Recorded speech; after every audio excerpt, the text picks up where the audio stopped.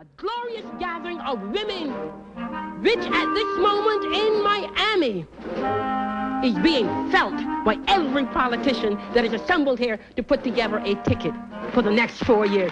That is a step in the right direction. I wonder if you realize how much of our agenda is already accomplished, is already won. The 1,300 women that sit here, 40% of the delegates to this convention, that's real. They may have tried in some instances to appoint wives and daughters, you know, of, of, the, of the bosses instead of the women that really were running to get a voice. But those wives and daughters want a voice too. And the women that are sitting here. It feels powerful and good, and for the first time, like you have a voice, and, and someone's listening, and it'll make a difference, and that's what it feels like.